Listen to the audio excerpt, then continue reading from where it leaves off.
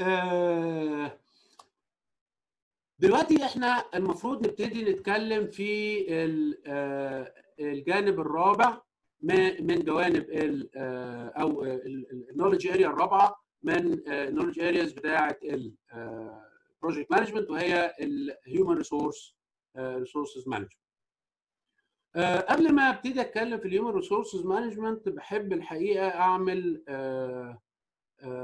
خروجة كده على جنب آه، ظاهريا ملهاش علاقة بال project management خالص وإنما آه، بتمس آه، حياتك أنت وبتمس اهتماماتك أنت في الفترة الجاية إن شاء الله.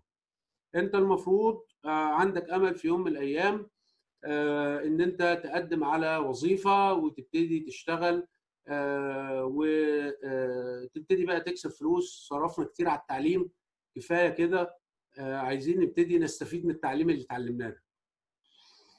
آه، فأعتقد إن أنت آه، هتقدم على وظيفة إن شاء الله probably هتبتدي في خلال الشهور الجاية دي تجهز السي في بتاعتك تبتدي تبعتها في أماكن آه، وتقول يا جماعة أنا هتخرج آه، إن شاء الله آه، في مثلا شهر 7 آه، 2021 آه، أو لو عايز تشتغل في أثناء الدراسة في الفترة الجاية بتقدم ال CV بتاعتك وتقول أنا available مع الدراسة part time وأنا بحب جدا على فكرة الناس اللي بتشتغل وهي بتدرس. آه، ليس إن اللي ما بيشتغلوش وحشين أوكي؟ أنا شخصيا في أثناء الدراسة ما كنتش بشتغل. آه، لكن الحقيقة آه، يعني بكن إعزاز شديد جدا للناس اللي هي بتشتغل في أثناء الدراسة. آه، لأسباب مختلفة يعني بس بحبهم المهم آه، حضرتك دلوقتي هتقدم على شغلانة ووارد جدا إن أنت يجي لك دعوة إن أنت تعمل interview مش كده ولا إيه؟ و once جات لك الدعوة إنك تعمل interview هتروح وتعمل interview هتتشيك كده على سنجة 10 okay وتروح تعمل ال interview بتاعك وتروح وتوقع بقى إيه إن أنت هتتقبل في الشغلانة. اولا أول خبر سيء أحب أقول لك إن أنت فرصتك بعد ال interview أقل من 50%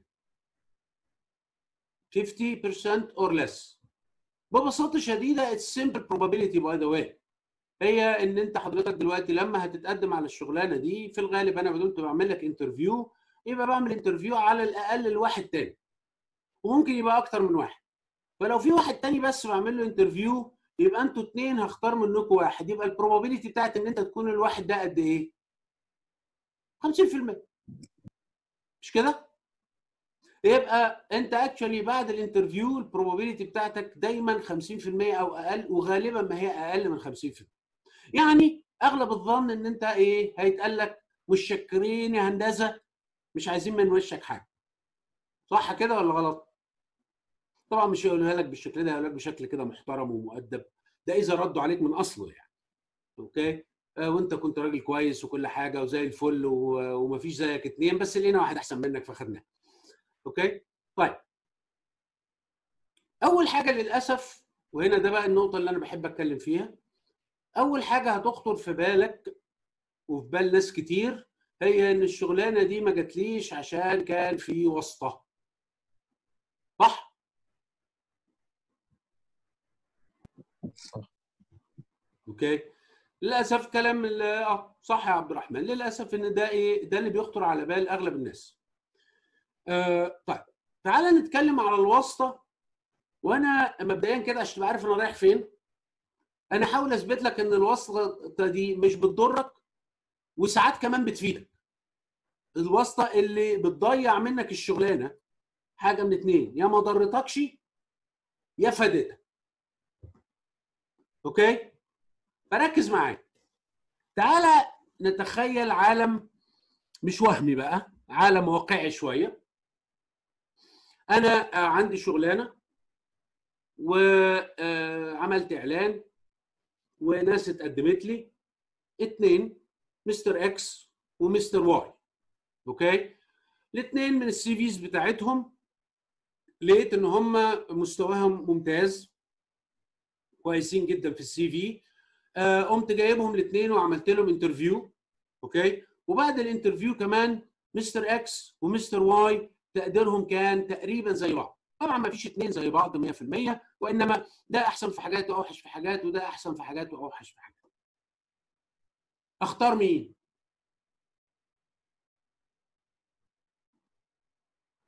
صحصحوا معايا بقى عشان ال- الكلام اللي هقوله ده هيفتح خناقات.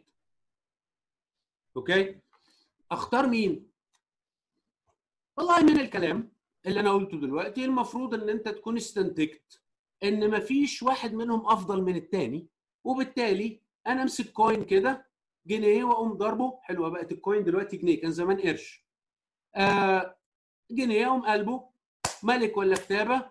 ملك آخد Mister X. كتابة آخد Mister Y. وكده أنا ما ظلمتش حد وكله زي الفل. مش كده؟ قبل ما أعمل ال coin دي جات لي مكالمة تليفون. ألو إزيك يا محمد؟ أهلا عوضين إزيك يا حبيبي؟ أخبارك إيه؟ إزاي صحتك؟ فينك ما شفتكش بقالي زمان؟ آه, آه أنا عندي شغلانة جديدة. كنت فاتح فعلا إعلان وفي ناس اتقدمت. أنت تعرف حد؟ إيه ده؟ ابن أختك؟ بجد؟ ابن أختك جه وتقدم في الشغل في الإعلان ده؟ طب والله كويس قوي مين؟ اسمه إيه؟ X طيب آه. على فكرة X ده كان أنا شفته فاكره كويس. ده راجل من الناس كويسين فعلا فعلا. طيب خير إن شاء الله. ربنا اللي يعمل فيه الطيب ربنا يعمل فيه الطيب okay. شكرا يا عوضين. اشوفك على خير يا حبيبي. وما تبقاش تأخر علينا كده في الكلام. ها؟ نفسنا نتقابل. يلا. كل سنة وأنت طيب. مع السلامة. مع السلامة. مع السلامة.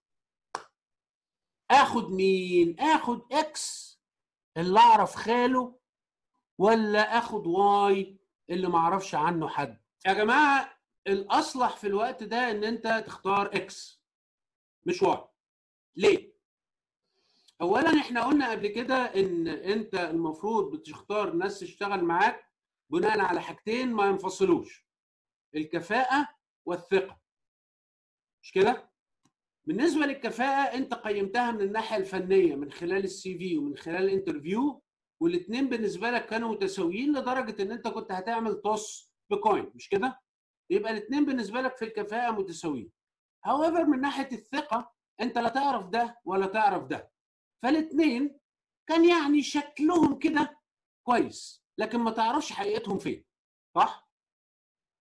بينما انت معرفتك المسبقة بعوضين اللي كلمك في التليفون وكونكوا اصحاب قدام أو في معرفة قديمة غالبا المعرفه القديمة دي بتبقى مبنية إن أنت عندك درجة من درجات الثقة فيه. وهو بيكلمك على ابن أخته اللي هو مربيه أو بيعمل له ريكومنديشن وبالتالي هنا المفروض ثقتك. مدى ثقتك؟ بعوضين اللي كلمك في التليفون ينعكس على X اللي انت ما تعرفوش. okay؟ فهنا بقى في درجة من درجات الثقة في Mr. X okay؟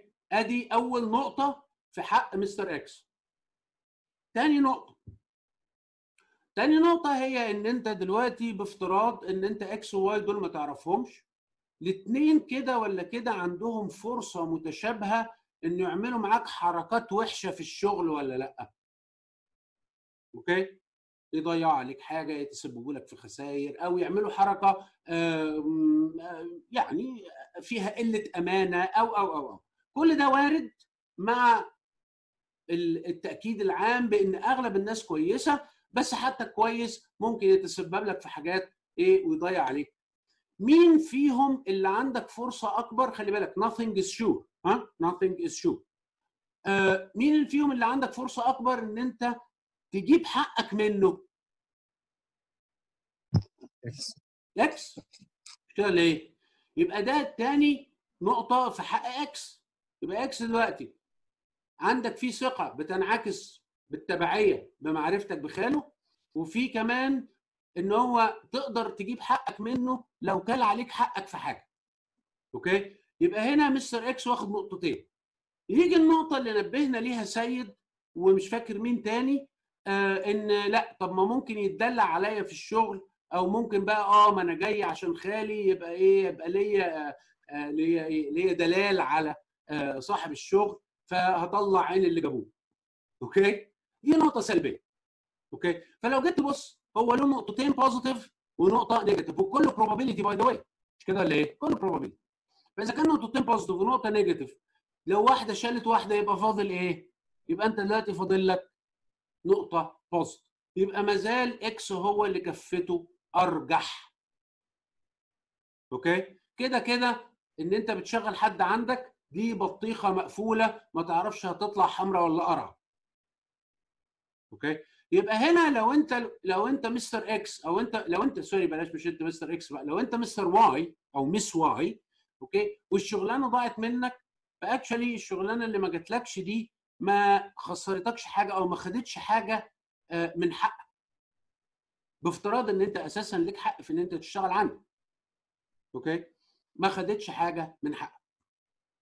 طيب يجي بعديها case تانية قريبة منها قوي وهو إن بافتراض ان أنا آه، إن X Y أحسن من X بس السن صغير. يعني Y 9.1 مثلا و X 9 بس أو 8.9 يعني الاثنين قريبين من بعض مع رجحان شوية في كفة Y خدها مني. ما زال الأحسن في الحالة دي إنك تاخد X X ما زال كويس. okay؟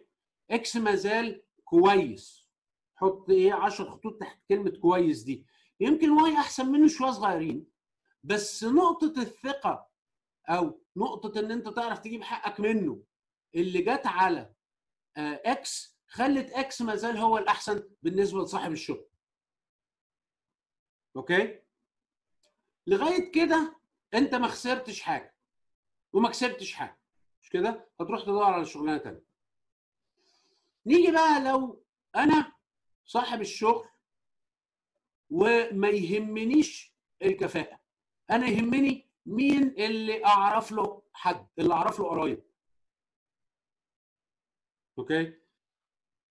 يبقى النهارده لو Mr. X ده زي الزفت أو نص نص أي كلام أي حاجة و Mr. Y ده كويس لمجرد إن X أنا أعرف خاله هاخده واسيب Y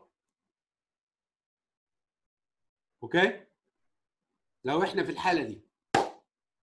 يبقى لو أنت mister Y أنت خسران ولا كسبان؟ ده سؤال. ولا neutral؟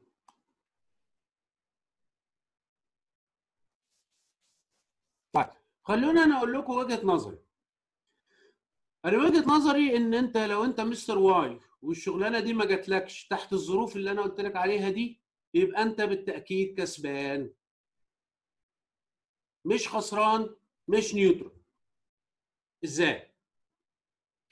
بص للجانب التاني. لو أنت كنت دخلت الشركة دي الشركة دي اللي صاحبها بيعين الناس عنده بناء على الواسطة بتاعته أو المعارف بتوعه بغض النظر عن كفء ولا ما فيهوش كفاءة خالص دي شركة خربانة دي مزبلة. لو انت كنت دخلت المزبلة دي انت كان هيطلع عينك. ما كنتش هتتعلم حاجة والشغل كان كله هيتدلق على دماغك زائد إن أي مشكلة تحصل مين اللي هيلبسها؟ اللي معاه واسطة ولا اللي معهوش؟ أكيد اللي معهوش. فأنت كنت هتبقى لابس أنا ضيق أنت من مصلحتك أنت كسبان جدا. خدت الشغلانه دي أنا صاحب عمل بضيع فلوسي. okay؟ بضيع فلوسي. ليه؟ لأن أنا بجيب ناس عندي تشتغل ما فيش عندها كفاءة وبالتالي شغلي خربان. للأسف إن في شغلانات كتير هتلاقيها كده وهتلاقيها بتكسب برضه. بس بتكسب بإيه؟ بتكسب بالصدفة. okay؟ وبتكسب أقل بكتير من اللي ممكن تكسبه لو إن الناس اللي عندها اللي بتشتغل فيها ناس عندها الكفاءة الكافية والمطلوبة لأداء العمل. ده خلاص؟ يبقى بالتالي حضرتك دلوقتي كسبت. في كلمة اتقالت اتكررت actually من أكتر من واحد إنه كده خد حقي. لا ده مش حقك مبدئيا. okay؟ أنت مالكش أي حق في أي شغلانة. خلاص؟ ليه؟ دي فلوسي. أنا حر. أشغل فيها اللي أنا عاوزه. أنت مالكش حق في شغلي. مالكش حق في شركتي. خلاص؟ انت ليك حق في مرتبك آخر الشهر. انت داخل موظف. أوكي؟ حقك إيه؟ حقك تاخد اللي اتفقنا عليه. مرتبك أي رعاية بديها لك مواصلات لو بغطيها لك أدي حقك. غير كده أنت مالكش حق في الشغلانه أساسا. فكلمة حقي دي شيلها من بالك. أنت مالكش حق في أي شغلانة. okay؟ أنت بتروح تشتغل في شركة حقك هو اللي اتفقت عليه. يبقى بالتالي انت ما حدش خد منك حقك. not to mention ان دي فلوسي أنا حر فيه. okay لو دخلنا لو فضلنا برضو لسه في القطاع الخاص زي ما إحنا ورحنا على case رابعة وهي ال case بتاعت ان أنا آه، مش صاحب الشغل بقى ده أنا بتاع ال HR صاحب الشغل مفوضني ان أنا اعمل عملية التعيين دي. وأنا بعمل عملية التعيين لل... للناس اللي هيجوا يشتغلوا عندنا بال برضه بإيه؟ بمكالمات التليفون المعارف بس ما يهمنيش الكفاءة. ده إذا كان الأولاني صاحب الشغل وقلنا عليها مزبله يبقى دي إيه؟ ده صاحب الشغل طرطور. صاحب الشغل في الشركة دي طرطور. okay؟ يعني الشركة خربانة خربانة. بايظة من مجاميعه. okay؟ ما فيش في ده كلام فارغ. يبقى أنت ده أنت لو عارف كده وإن الواسطة هتجيب لك أنت الشغلانة في الشركة دي خد ديلك في اسنانك واهرب يا ولد. ما تقعدش. okay؟ حتى لو أنت صاحب كفاءة. لأن أنا ك HR بقيت خاين للأمانة. ده أنا جهنم وبئس المصير. أنا كده خاين للأمانة okay؟ أنا مؤتمن على إن أنا أعين في الشركة دي الناس أصحاب الخبرات وأصحاب الكفاءة اللي يقدروا يؤدوا العمل بطريقة كويسة وبالكفاءه المطلوبة. ومع ذلك صاحب الشغل لأنه طرطور مش عارف يتابعني وسايبني بعمل أي كلام فارغ والشركة عنده هتبقى بالتاكيد مزبلتين مش مزبلة واحدة. أوكي؟ القطاع العام بقى نعمل فيه إيه؟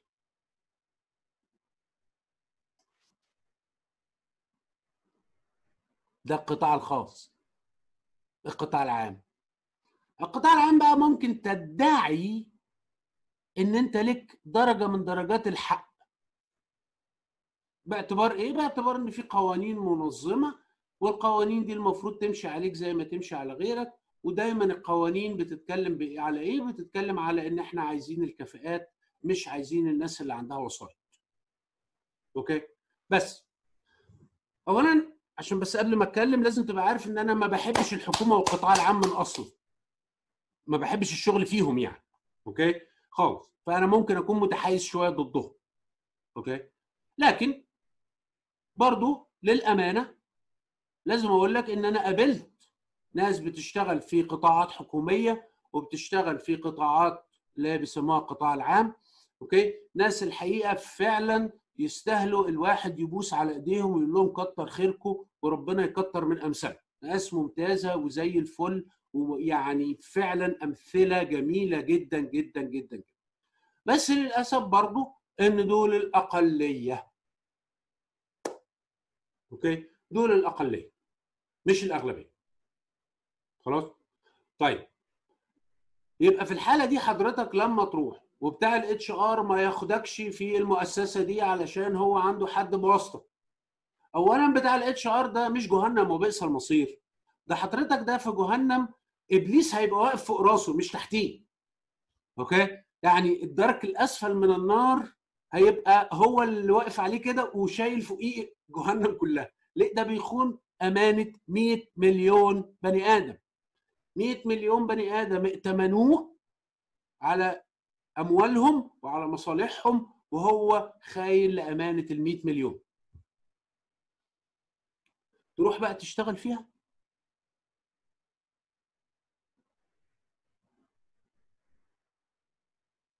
طيب. إيه اللي أنا قلته على مدار الحوالي 20 دقيقة اللي فاتوا دول أو 15 دقيقة اللي فاتوا دول؟ أنا كنت بحاول أوصل لك صورة. الصورة دي مغزاها ببساطة شديدة. هو إن الواسطة اللي بتتكلم عليها أو اللي بنسمع عنها اكشولي حاجة من اتنين. يا ما خسرتكش حاجة يا رجعت عليك بالمصلحة. ما خسرتكش حاجة لو إن أنت متساوي مع الآخرين لكن واحد تاني له معارف رجحوا كفته وأرجو إن إحنا نكون مش مختلفين كتير على إن ده ما فيهوش أي حاجة وحشة بالعكس دي حاجة من الحاجات اللي كلنا هنلجأ ليها في شغلنا ودايما بفضل الناس اللي أعرفها على الناس اللي ما أعرفهاش للأسباب اللي قلنا عليها. وفي الجانب الآخر لو إن الواسطة دي خدت واحد أقل منك كفاءة وده العادي بيحصل في المؤسسة دي يبقى أنت أحسن لك إنك ما اشتغلتش فيها. أوكي؟ ده conclusion